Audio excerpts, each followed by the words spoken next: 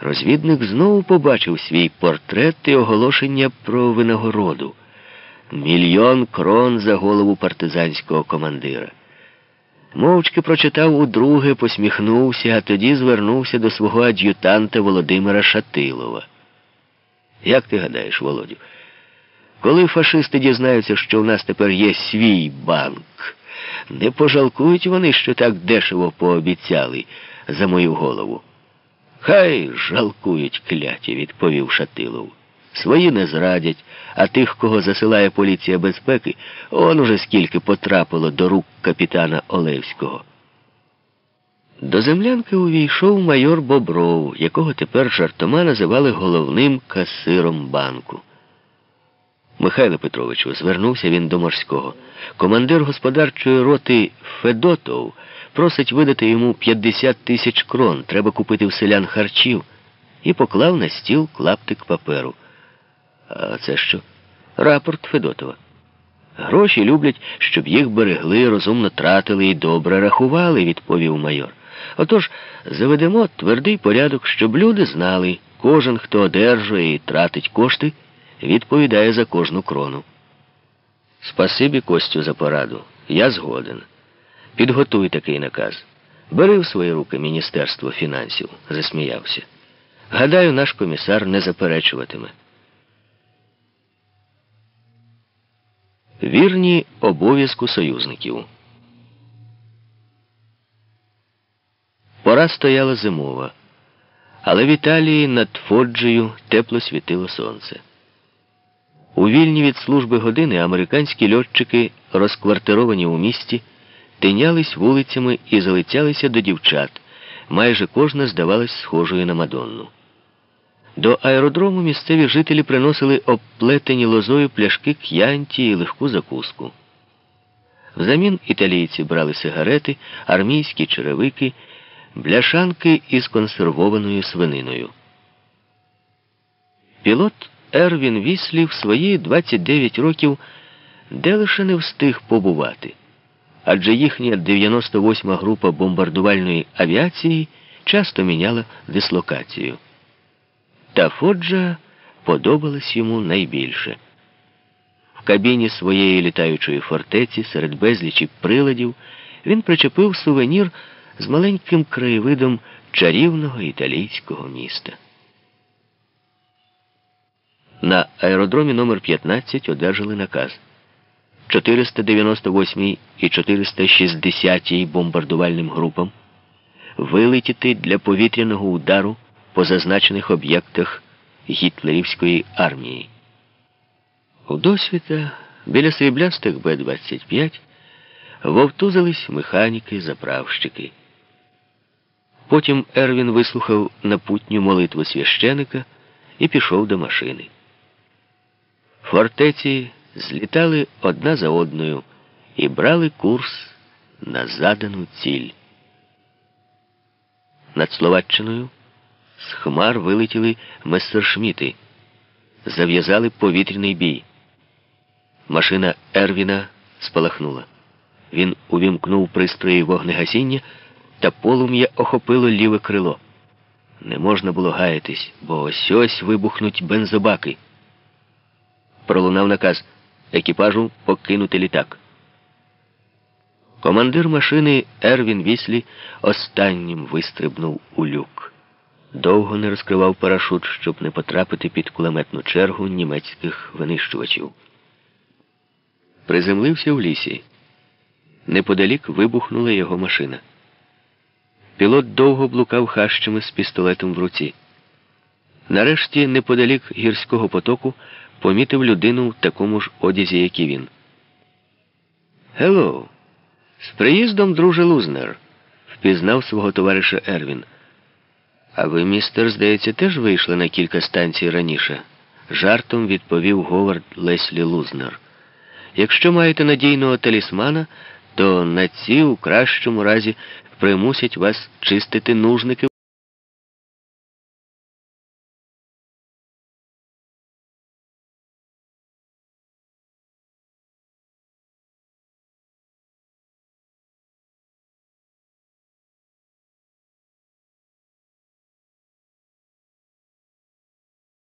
Своєї аварійної пайки. Скромного запасу вистачило на один день. Надалі нашим меню буде задубіле від морозу коріння, похмуро зауважив Лузнер. Що не кажи, а нас таки добре годували. Минулось. Ми викреслені із списків. Ти добре знаєш, як у нас швидко забувають про збитих льотчиків. Однак про цих американських пілотів не забули. В район падіння збитих літаків вирушили із Банської бистриці есесівці і з нижніх татор партизани. Незабаром у горах гітлерівців зустрів загін морського. Спалахнула сутичка. Луна розносила у межигір'ї татакання кулеметів, гвинтівочні постріли, вибухи гранат. Хоч партизанів було небагато, есесівці не пройшли.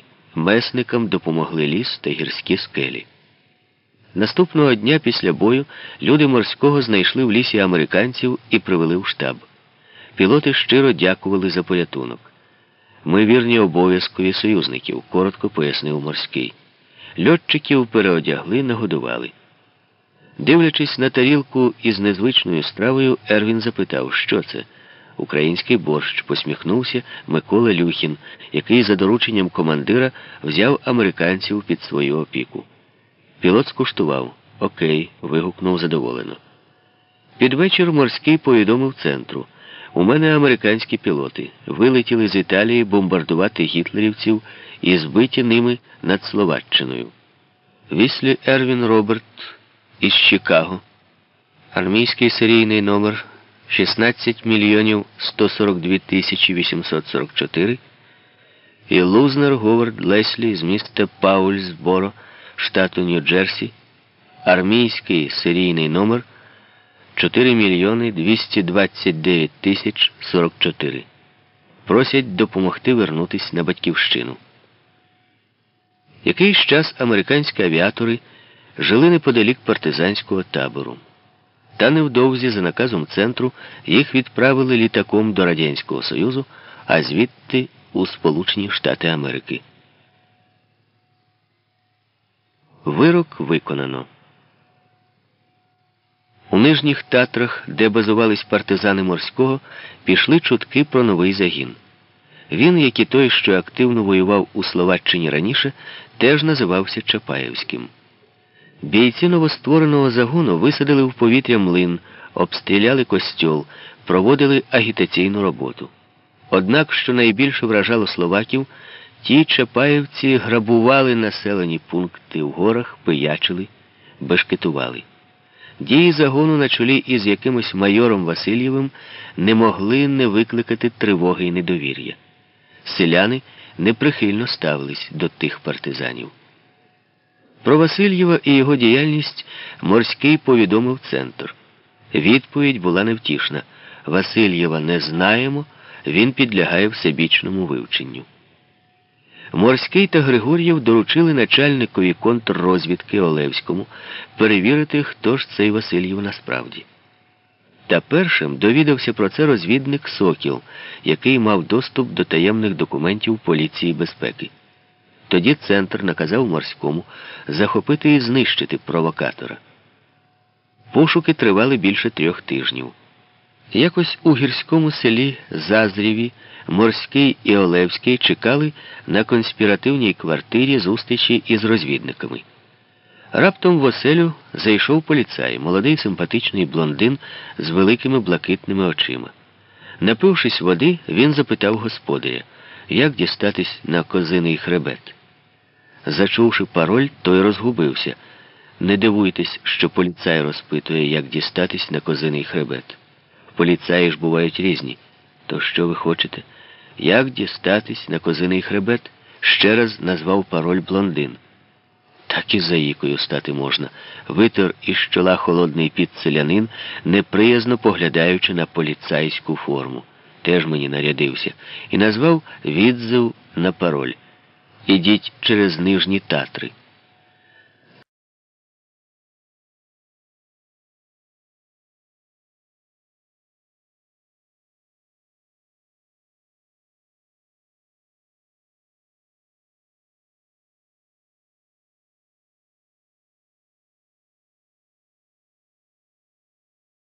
Морський разом із розвідниками зайшов до пивної. Світлов показав партизана. Той самотньо сидів за столиком, був одягнений у шкірянку, озброєний, як кажуть, до зубів. Підполковник підійшов до хлопця. Я сяду біля тебе, сказав, не заперечуєш? І, не чекаючи відповіді, опустився на лаву, скинув плащ. Хлопець був на підпитку і тримався войовничо, та, глянувши на погони, раптом підвівся. Чому злякався? Сідай, тоном наказу запросив морський. Мені вже пора насидівся. Знічено відповів той. Однак партизан не наважився порушити наказу старшого сів. Ти місцевий? Ні, я з України. Мабуть, Чапаєвець, бо в нашому загоні я тебе не бачив. Так, я з того загону. А хто у вас командир? Ви що, не знаєте? здивувався хлопець. Ні, не мав нагоди з ним зустрічатись. А ви хто такий, товаришу підполковник? Ти що, не знаєш? втон запитав морський. От ми й квити. Я не знаю твого командира, а ти мене. Здається, я бачив вас. Вірніше, ваше фото в газеті. Ви командир морський, так? Ризикуєте, товаришу підполковник. Фашисти давно вас розшукують, а зрадники, на жаль, ще не перевелись. Морський тепло глянув у чорні циганкуваті очі молодого партизана і подумав видно, людина порядна. Може, і стане ключем до Васильєва. Поступово хлопець розговорився, назвався, розповів, що він син потомственного робітника, комсомолець, служив у прикордонних військах. У полон потрапив у непритомному стані, контузило вибухом авіабомби. Втік із табору Дора Едельвейс і, пробираючись на схід, приєднався до загону Васильєва. Морський уважно вислухав, потім попросив. Розкажи, Тарасе, усе, що знаєш про свого командира. Мене цікавить, хто він і чим займається, кому звітує про свою роботу. Пліч опліч воюємо, а виходить так, наче наші загони діють за сотні кілометрів. То правда, але я знаю небагато. Ну, наприклад, Васильєв єдиноначальник. За найменше невдоволення його тактикою карає розстрілом, оточив себе якимись сумнівними людьми. А куди дивиться комісар загону? Комісара у нас немає. Васильєв керує сам. Нікому він не звітує, каже, що послав людей для встановлення зв'язку з командуванням Червоної армії, але вони ще не повернулись.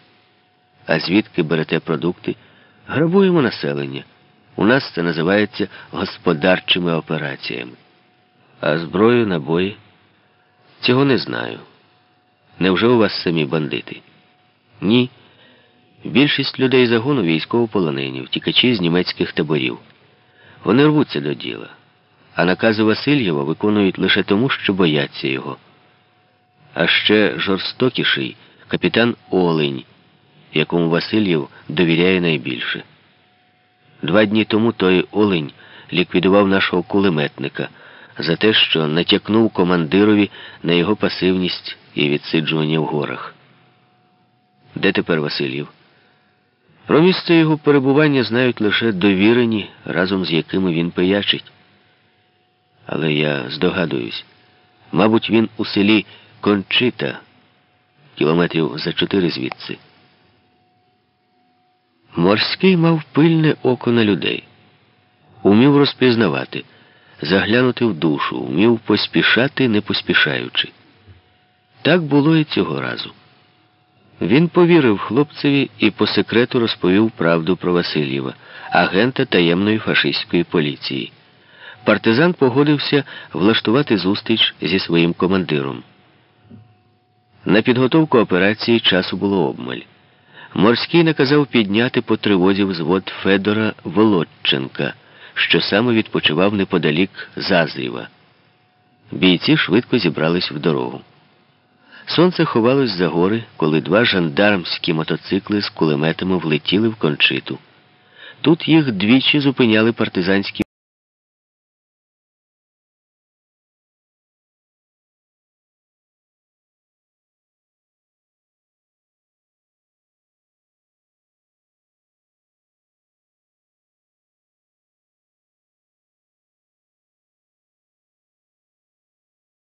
Вони перетнули групі шлях.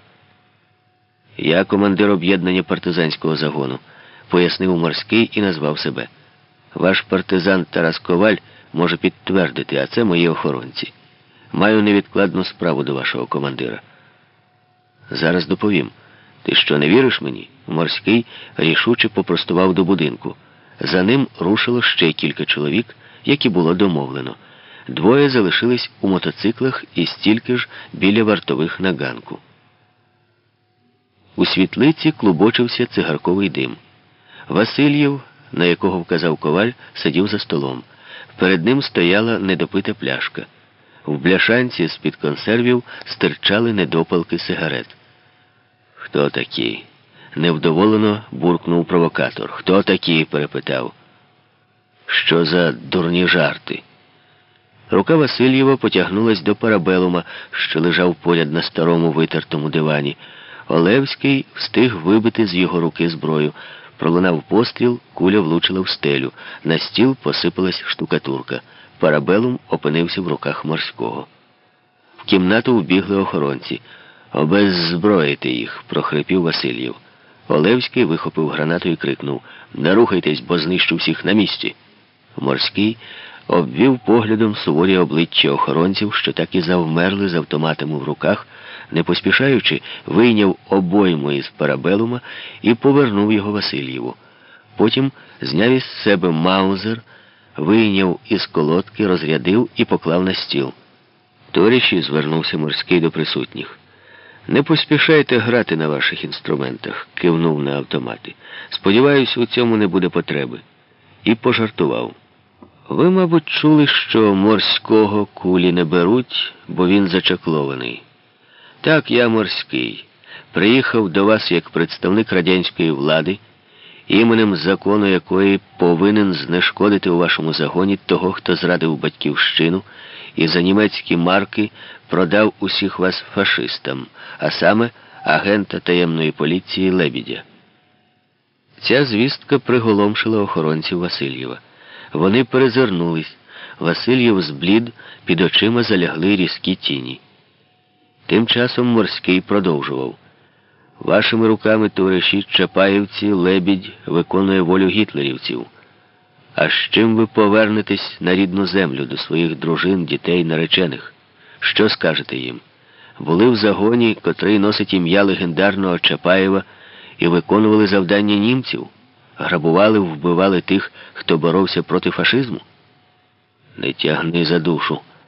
Не витримав напруження один з охоронців Васильєва. Кажи, де він, той лебідь, де?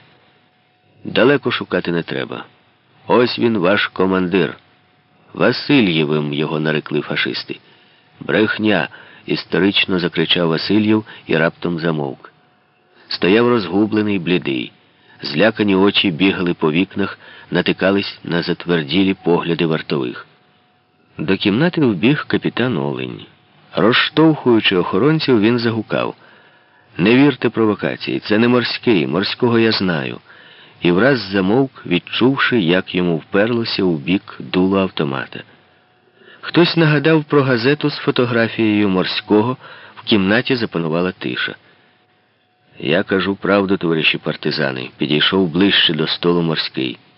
Розпоріть вилуги кітеля Васильєва. Там знайдете його справжнє обличчя. Він вихопив у Тараса фінку і передав хлопцеві зі світлим чубом, що стояв попереду.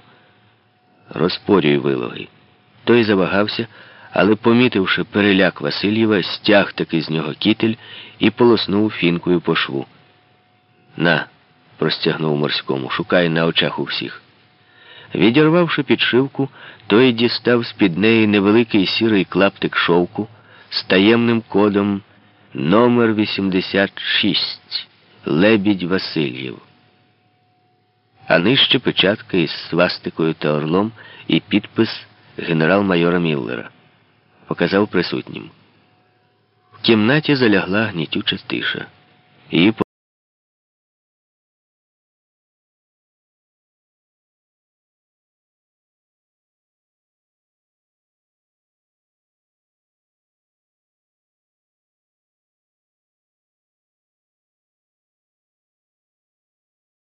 Шукайте його.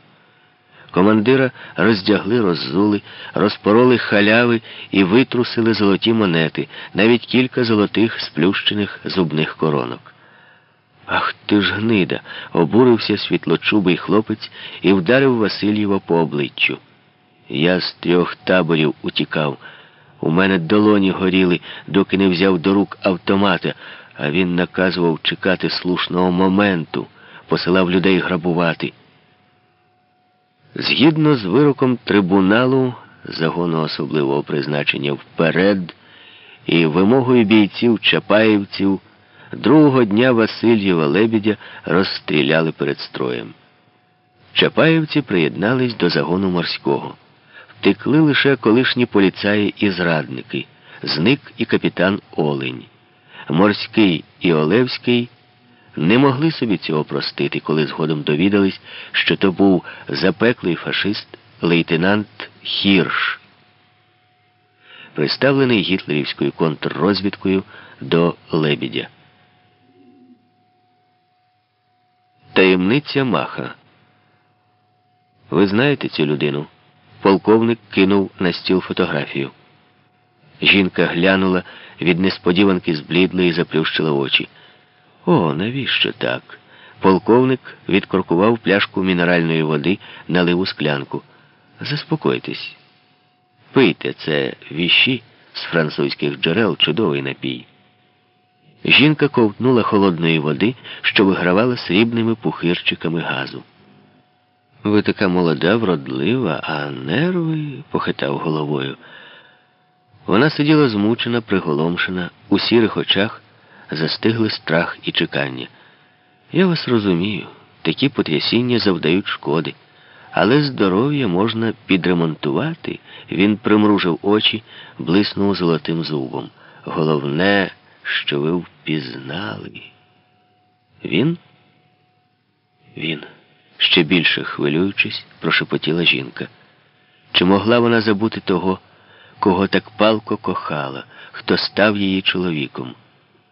Не встигли налюбуватись, напеститись, коли через місяць почалася війна. Лейтенант Червоної армії Нечипорук, молодий, здоровий, завжди спокійний і розважливий, збирався на фронт, як на військовий парад. Випрасував командирську форму, підшив білий комірець до гімнастерки. Прощаючись із рідними, запевняв, що швидко повернеться додому. Та невдовзі прийшла листівка з військ комату, пропав безвісти. А далі чорна і страшна окупація. У теплушці її вивезли до Німеччини в Дегендорф, похмуре задимлене місто. Працювала хатньою робітницею у паралізованого старого домовласника. Двоє синів його воювали на східному фронті. Коли від них довго не було звісток, господиня лютувала і зганяла свою злість на служниці. Той осоружний будинок стояв неподалік залізничного вокзалу. Ніхто не бачив, як вночі молода полонянка зірвала зі своєї сукні нашивку ост, забралась на платформу, вантажену сірими паперовими мішками, і залізла під цупкий брезент. Поїзд рушив. У доцвіта він прибув до Братіслави. І тут утікачку спіймали. Допитували, хто вона, звідки, хто чоловік, якийсь час тримали у в'язниці, а сьогодні привели сюди, до фашистського полковника. Мах ще раз показав жінці фотографію, змучене обличчя, замість чепурної командирської гімнастерки смуга староба арештанта. Отже, ваш чоловік живий. Ми знайшли його в концтаборі. За дезертирство ви теж заслуговуєте суворої кари. Але справді мені було б прикро дізнатись, що така молода пара загинула, фашист зітхнув. Цікавитись чому? Скажу про це пізніше. Я хочу вам зберегти життя. Лейтенант Нечепорук вийде на волю цілий і здоровий, і вас ніхто не посміє зачепити, однак ви маєте зробити невелику.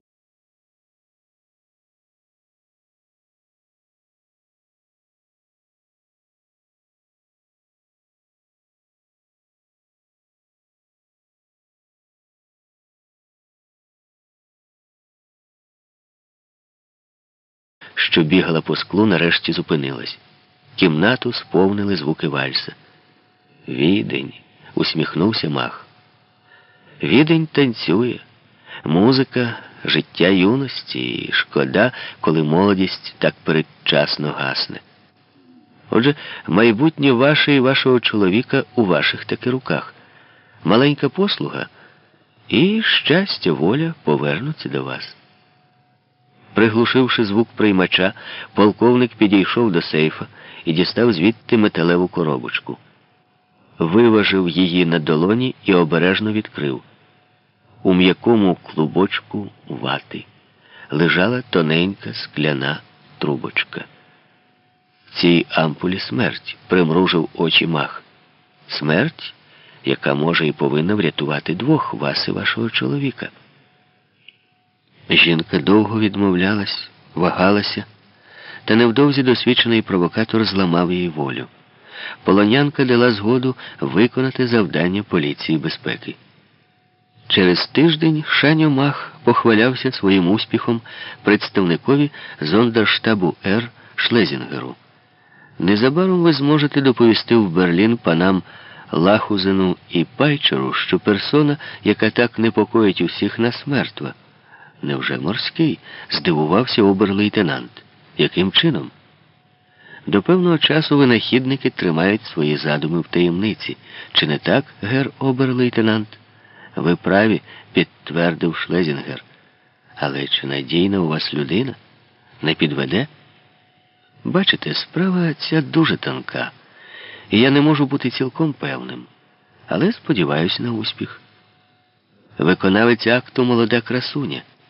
Ця жінка в наших руках, її суджений, що пропав безвісти, при перевірці знайшовся в концтаборі. Він став заложником. Залишається чекати. Може, день, а може і тиждень. Жінка з отрутою. Командир разом із комісаром і начальником штабу обмірковував план передислокації підрозділів, які залишили село Каліще. Не сьогодні-завтра туди нагрянуть карателі. До землянки зазирнув радист-шифрувальник Іван Горецький. Дозвольте, товаришу підполковник. Давай, що там у тебе.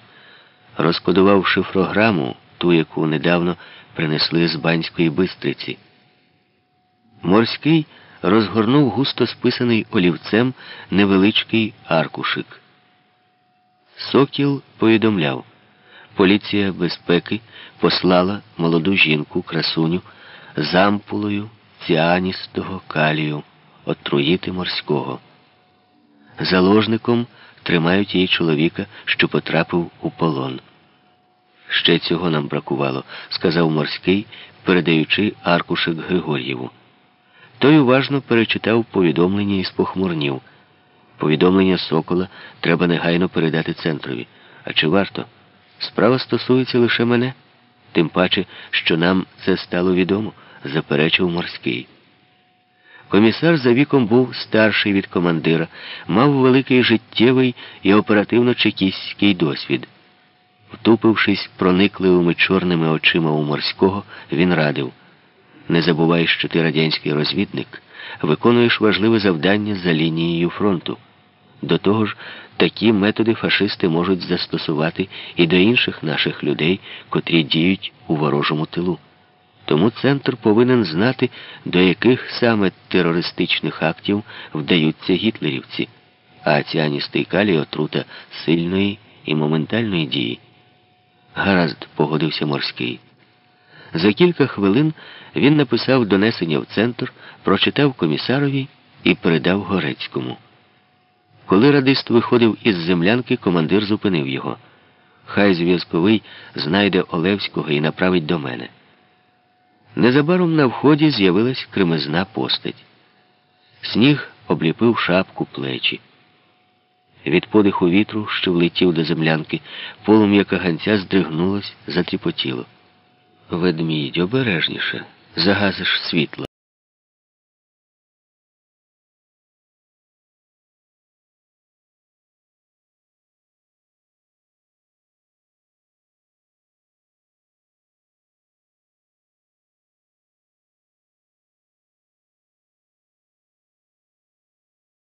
Що став учителем і наставником багатьох розвідників та підривників загону. Олевського любили і поважали, та, мабуть, не кожен, навіть із найближчих друзів, відав, що пізніми ночами цей волиняк, тамуючи біль від утрати рідних, єдиної донечки, їх розстріляли фашисти, пише їм палки листи, хоча добре знає, адресатів немає серед живих. Ті невідправлені листи були трагічною таємницею душі і серця Олевського. Слухай, Сашко. У тиші землянки аж надто гучно пролунали слова морського. Тобі знову фашисти підкинули роботу. І де ти думаєш? Ось тут на столі. Він показав на казанок із їжею. Не віриш? Слово честі правду кажу. Морський розповів зміст шифровки. Після короткої паузи запитав, що будемо робити. Як і де шукатимемо цю таємничу красуню. Олевський мовчки глянув на присутніх, не кваплячись, дістав сигарету, закурив. Потім розігнав рукою клуби диму і напівжартома відповів: якщо вона і справді красуня, то виявити неважко. Жінок у загоні мало. Та все ж орієнтуватись є на що. Важче буде знайти речові докази. Шкода невідомо, коли ця терористка відкомандирована до нас. Якщо не помиляюсь, за останні два тижні жінок до загону не приймали. А коли прийшла Клавдія Кардаш, може, вона і є тією красунею, прикрилась легендою про втечу від поліції безпеки, мовляв, не хотіла виконувати завдань по виявленню зв'язків населення з партизанами, міркував у голос Григоріїв. Начальник штабу мовчки потягнувся до своєї польової сумки, дістав зошита у чорній клейончатій палітурці, знайшов записи, прочитав. Кардош, вона ж Карташова Клавдія Олександрівна, прибула в загін 8 січня з Банської бистриці. Чому в неї два прізвища? запитав морський. Як вона пояснила під прізвищем Кардаш, проживала на фашистській конспіративній квартирі після звільнення з тюрми, відповів Олевський. Перевірка у Банській бистриці це підтвердила. Не виключено, гітлерівці мають намір використати Карташову, але поведінка її в загоні, участь у бойових операціях не дають підстав сумніватись, що вона розповіла правду. Ну що ж, побажаємо Олександру Хомичу швидше викрити гестапівську наволоч. Закінчив командир і перейшов до плану дислокації загону. Нам треба вибрати надійні місця. Усі четверо схилились над картою, що лежала на столі. Тим часом на конспіративній квартирі поліції безпеки, влаштованій в будинку на вулиці Народній у Банській Бистриці, гауптман доктор Круцбергер давав останні настанови красуні, яка під прізвищем Дикань оселилась за цією адресою. То була інструкція, як розшукати партизанів загону морського, завоювати довір'я командира і виконати підступне доручення. Гауптман, звичайно, не підозрював, що за місцем його тимчасового перебування в Банській бистриці пильно стежать розвідники морського, відколи він поселив там завербованих поліцією безпеки і звільнених із тюрми сестер Карташових Клавдію та Ганну.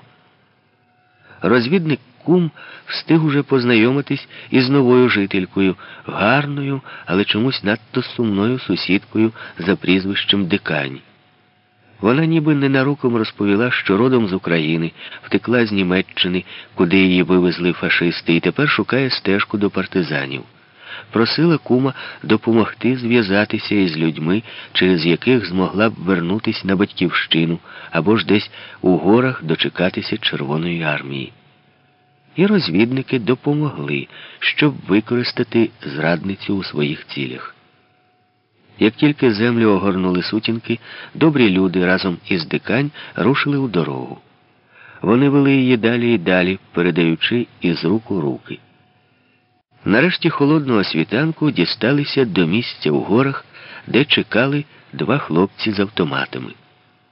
Маєте при собі зброю? запитав один з них по-українському і показав на свій автомат.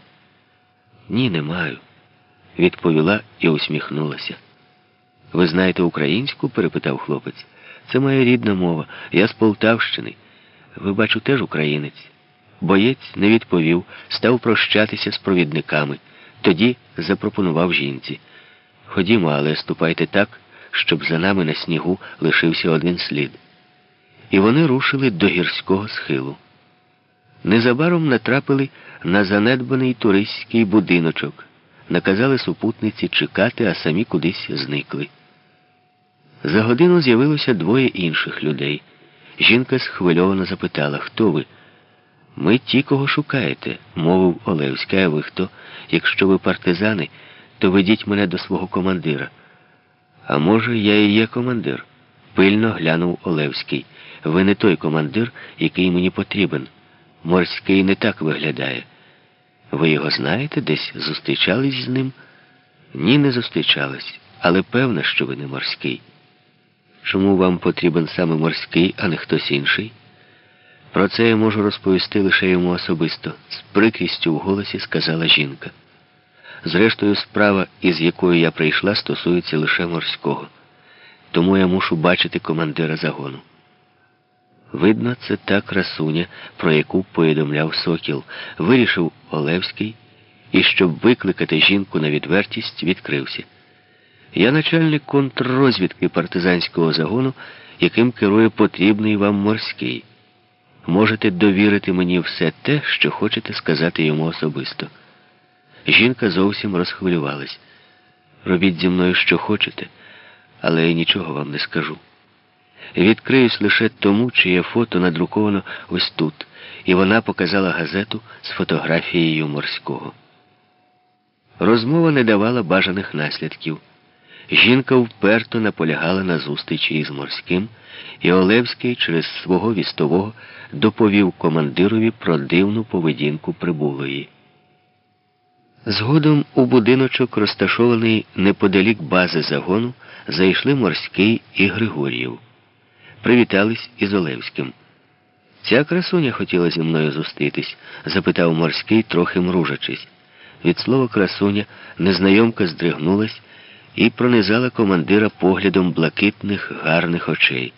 Потім зиркнула на фото в газеті, що вийняла із кишені, підступилась до морського і побачила характерну прикмету довгастий шрам на правій щоці і підборідді. Ось він, мій рятівник, ледь чутно прошепотіла жінка. Її худі плечі затремтіли.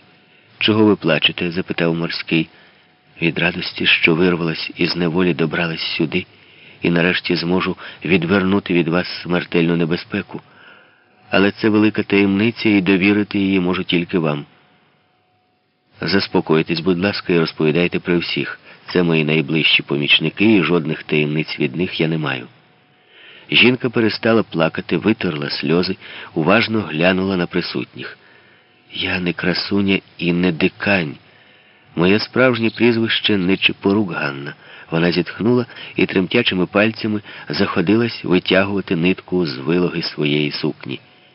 Відпорола закладку, дістала від тіля невеличку пластмасову трубочку, обережно вийняла із неї іншу мініатюрну і поклала на стіл.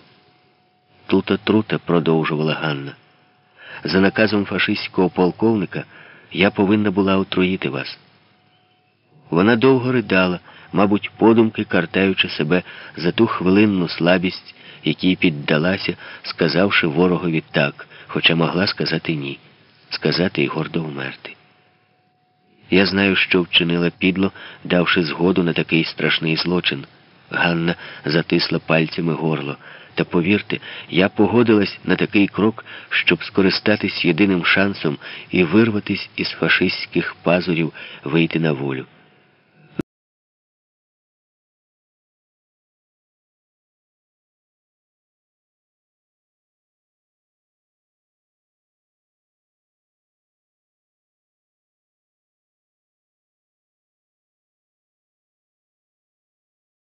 І жінка знову гірко заплакала.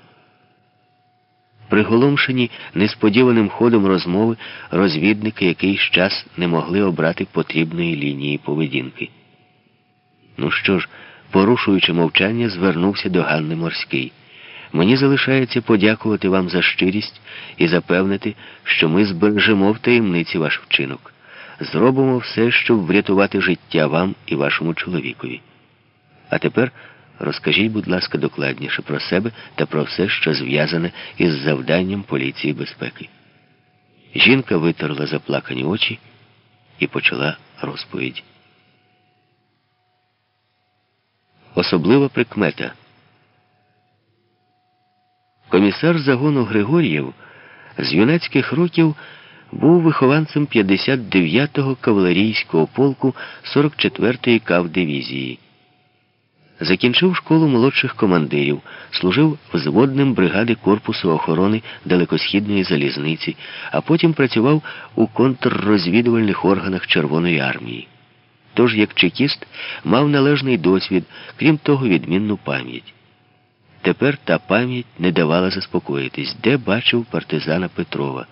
До морського той перейшов недавно із з'єднання підполковника Єгорова. То де ж і коли з ним зустрічався? Може, Петров просто схожий на когось, з ким доля свого часу зводила, але з ким і де саме. Якось комісар застав Петрова на продовольчому складі. Той приймав продукти, заготовлені господарчим взводом, і якраз збирався підписати акт. Дістав окуляри, довго витирав носовичком, надягнув і почав голосно читати, чого і скільки приймає, а вуха ворушились. І раптом в уяві комісара постала картина. Петров, начальник поліції в Ромнах, збирається читати протокол допиту Григор'єва, запідозреного у зв'язках з більшовицьким підпіллям. Ось він виймає із бокової кишені піджака окуляри і протирає їх носовичком, читає повільно, милуючись своєю дикцією, і вуха його ворушаться. Але то був Зеленський. Невже він міг опинитися тут, у лісах Словаччини? Може, просто зовнішня схожість? Зеленський, Зеленський, таке прізвище десь тут уже згадувалось. А чи це не той агент 306, появу якого в загоні давно передбачав розвідник Сокіл? Про свою підозру Григор'єв розповів Морському і Олевському. За Петровим почали стежити, вивчати, перевіряти минуле. Послали довірену людину у партизанський загін Єгорова. Там відповіли, був у Петров у загоні, прийшов як військовополонений після втечі з німецького табору. Зарекомендував себе непогано, але чомусь виявив бажання воювати разом з морським і, як стало відомо, самочинно перейшов до нього. По радіо сповістили НКДБ України. Звідти надійшла відповідь. Зеленський Петро Євдокимович очолював поліцію в Ромнах на Сумщині. В 1943 році утік з німцями разом із братом Іваном, колишнім учителем, що там же працював спершу слідчим, а потім начальником окружної поліції. НКДБ підтвердив його особливу прикмету. Петрова запросили до штабу. Напишіть пояснення, чому ви залишили загін Єгорова, запропонував начальник штабу. Петров насторожено глянув на присутніх морського Григор'єва і Олевського, які стежили за ним під час розмови. Відтак добув із внутрішньої кишені піджака окуляри, дістав картату хусточку, ретельно протер скельця і почав писати. Потім, за пропозицією Олевського, прочитав написане. Сумніву не було. Його колишнього начальника поліції бачив у ромнах комісар зовні спокійного, чепурного, насправді ж винахідливого мучителя. І вуха так само ворушаться, коли розмовляє або читає. Досить Зеленський, суворо обірвав Григорів. З пальців Петрова випав олівець, обличчя сполотніло. Проте він враз оволодів собою. Чому Зеленський? Моє прізвище Петров. Прізвище не Петрова, Зеленський.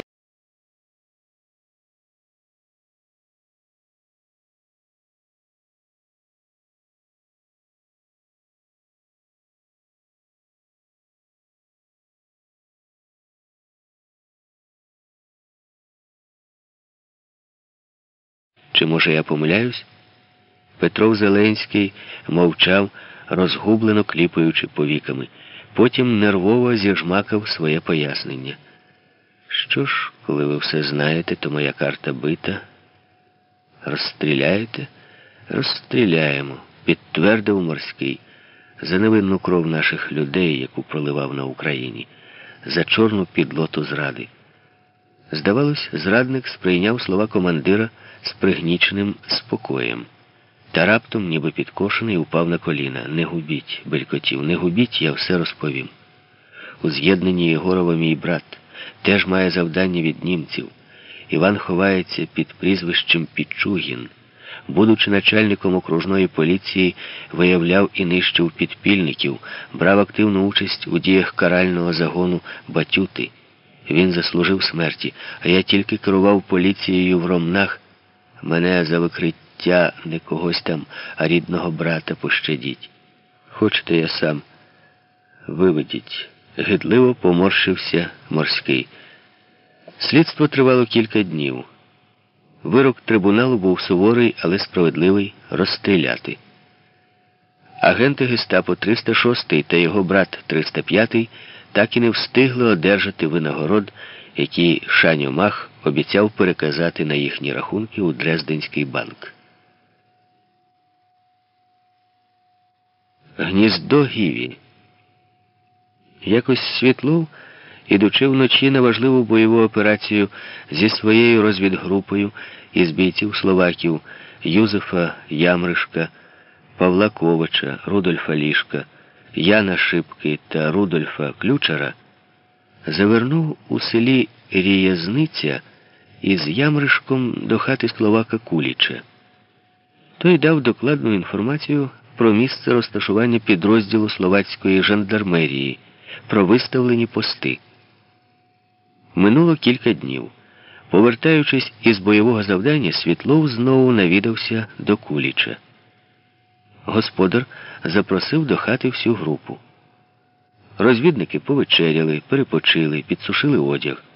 Дочка Куліча розповіла Світлову, що після тієї ночі, коли він з товаришем сюди заходив, у село непомітно пробралась група есесівців і влаштувала засідки в хатах попід лісом. Про це їй сказав знайомий жандарм, хлопець із їхнього села. Юний словак, так само, як і вона, ненавидить фашистів, а в жандармерії служить, щоб не послали на Східний фронт. Доповівши про все морському, Світлов одержав дозвіл зустрітись із словацьким хлопцем.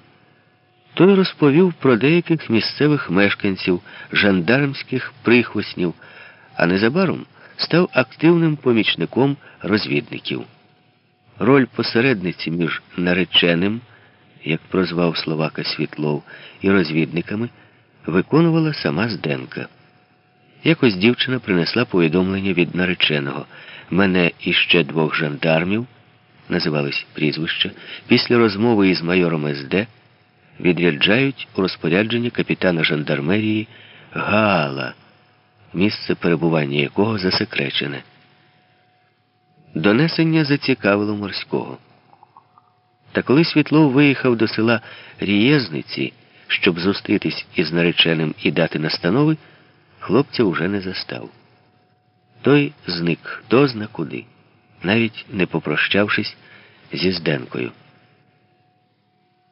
Невелике словацьке містечко з довгою назвою Моравський святий Ян, розташоване у гірській долині, нічим не вирізнялось. Навіть під час гітлерівської окупації тут було спокійно. Та на початку 1944 року Моравський святий Ян досить часто почали згадувати у таємних документах імперських служб. Сюди, за вказівками керівників німецької розвідки, збирали всіляких зрадників та буржуазних націоналістів, усіх тих, хто намагався уникнути справедливої кари свого народу. Саме тут.